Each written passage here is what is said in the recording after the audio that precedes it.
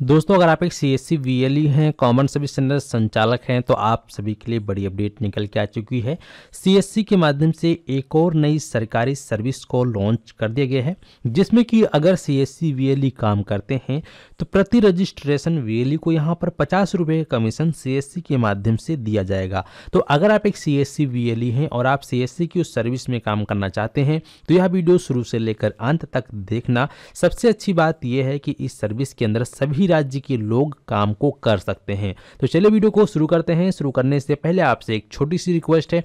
अगर आप तक, अभी तक आपने चैनल को सब्सक्राइब नहीं किया है तो सब्सक्राइब करने के साथ साथ नोटिफिकेशन बेल आइकन को ऑल पे क्लिक करके ऑन कर लीजिएगा ताकि आप हमारी वीडियो सबसे पहले देख पाएँ। तो चलिए शुरू करते हैं।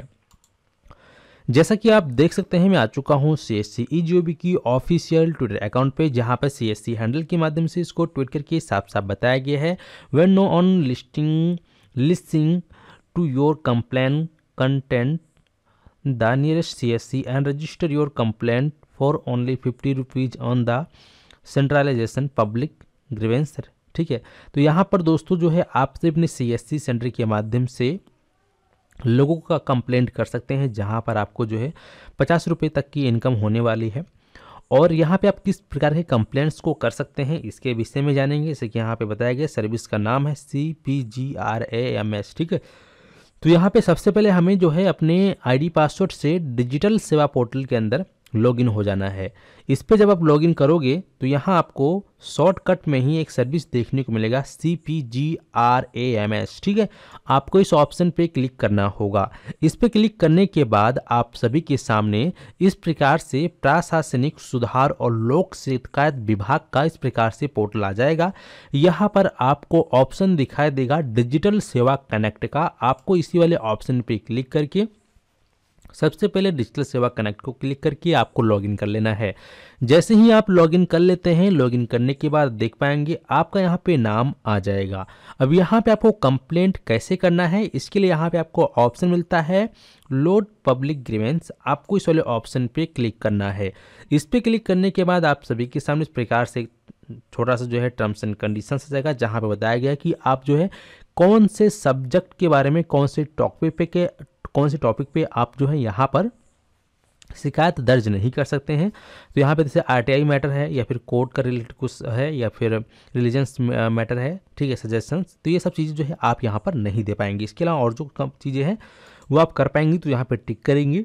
और सबमिट बटन पर क्लिक करेंगे। जैसे ही आप सबमिट बटन पर क्लिक करेंगे तो यहाँ पर देख सकते हैं, जैसे मान लो आपको कुछ फाइनेंशियल प्रॉब्लम है बैंकिंग से रिलेटेड कोई प्रॉब्लम है बैंक आपकी नहीं सुन रहा है बैंक लापरवाही कर रहा है तो ऐसे में आप उसकी शिकायत दर्ज कर सकते हैं। लेबर डिपार्टमेंट में अगर आपकी सुनवाई नहीं होती है पेंशन नहीं आ रहा है तो उसकी शिकायत आप यहाँ पर दर्ज कर सकते हैं। पैन कार्ड यानी कि इनकम टैक्स में अगर आपका इनकम टैक्स रिटर्न से लेकर कोई प्रॉब्लम है या फिर पैन कार्ड से लेकर कोई इशू है तो उसकी शिकायत आप डायरेक्टली यहाँ पे कर सकते हैं।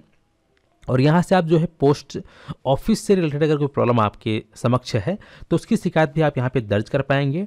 और यहाँ से, यहाँ तक कि आप टेली की शिकायत यानी कि इंटरनेट से लेकर और नेटवर्क तक की शिकायत भी आप यहाँ पे कर पाएँगे। होम अफेयर की शिकायत कर सकते हैं। और साथ ही साथ हाउसिंग अर्बन अफेयर्स की भी शिकायत दर्ज कर सकते हैं। पर्सनल कुछ प्रॉब्लम है तो उसकी शिकायत दर्ज कर सकते हैं। हेल्थ से कोई इशू है फिर हॉस्पिटल में कोई प्रॉब्लम आपको आ रही है, आपकी सुनवाई नहीं हो रही तो उसकी शिकायत कर सकते हैं।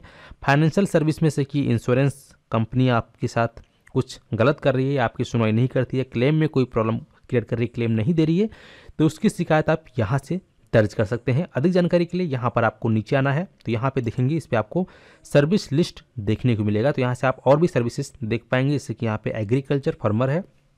जैसे मान लो कि आपको पीएम किसान सम्मान निधि योजना का पैसा नहीं मिला है। तो ये आप जो है एग्रीकल्चर एंड फार्मर वेलफेयर पे क्लिक करके आप यहाँ से भी उसकी शिकायत को दर्ज कर सकते हैं। जैसे उस पर क्लिक करोगे, यहाँ पर सेलेक्ट कैटेगरी में आपको इस प्रकार से कई सारे ऑप्शन आएगा। स्क्रॉल करते हुए नीचे आओगे तो यहाँ पर आप सभी को देखने मिलेगा पीएम किसान रिलेटेड इशू ठीक है? यानी कि कृषि से रिलेटेड कोई इशू है तो उसको भी आप यहाँ पर कंप्लेन करके सही करवा सकते हैं। जैसे कि बेनिफिशरी अगर आपका अकाउंट नंबर गलत हो गया है या फिर आपके अकाउंट में पैसे नहीं है या फिर आपका अकाउंट अपडेट नहीं किया गया है या एक्स एक्सवाइजेड कुछ भी इशू आता है तो उसकी शिकायत आप यहाँ पर दर्ज कर सकते हैं, ठीक है? तो इस प्रकार से आप लोग यहाँ पर कंप्लेंट डालेंगे और एक उसका जो है कॉपी को आपको अपलोड करना होगा। जो भी प्रॉब्लम है उसको कॉपी को अपलोड करना है और यहाँ पर अटैच करने के बाद नेक्स्ट पे क्लिक करके यहाँ से ग्रीवेंस को अटैच कर सकते हैं।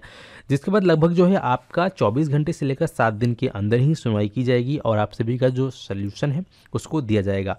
साथ ही साथ अगर आपके मन में है कि मेरा आयुष्मान कार्ड में लिस्ट में नाम नहीं है या फिर आयुष्मान कार्ड आपने अप्लाई किया है और वो जो है अप्रूव नहीं हो रहा है, पेंडिंग है तो उसकी भी शिकायत आप लोग यहीं से कर पाएँगे। इसके लिए जो है आपको फिर से एप्पल डैशबोर्ड पर क्लिक करना है, ठीक है? यहाँ पे चलिए हम होम पेज पे क्लिक कर देते हैं। कई बार कोई ऑप्शन अगर वर्क नहीं करता है तो कोई दिक्कत नहीं, आपको बैक आना है और दोबारा से आपको जो है साइन इन पे क्लिक करके आपको दोबारा से इसमें लॉगिन करके जो है उस सर्विस से रिलेटेड जो भी आपको इशू है, उसकी कंप्लेंट आप लोग यहाँ से कर पाएँगे, ठीक है? तो यहाँ पे आओगे, फिर से टिक करोगे सबमिट पे क्लिक करोगे और इसकी वजह से आपको हेल्थ से रिलेटेड कोई इशू है। जैसे कि यहाँ पे दिखाया तो इस पर आप क्लिक करोगे इस प्रकार से।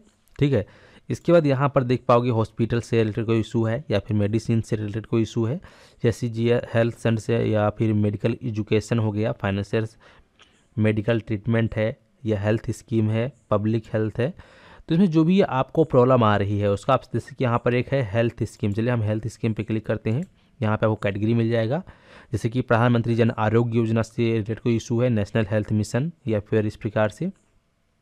ठीक है? तो यहाँ पर आप जो है उसका भी सिलेक्शन करके आप लोग यहाँ से उसके विषय में हेल्प ले सकते हैं। उम्मीद करते हैं कि आप लोग अच्छे से समझ गए हैं। और अगर आपके मन में कोई कन्फ्यूज़न डाउट है तो आप सभी हमें कमेंट सेक्शन में कमेंट करके ज़रूर बताएँ। आशा करते हैं कि आप लोग अच्छे से समझ गए हैं। धन्यवाद।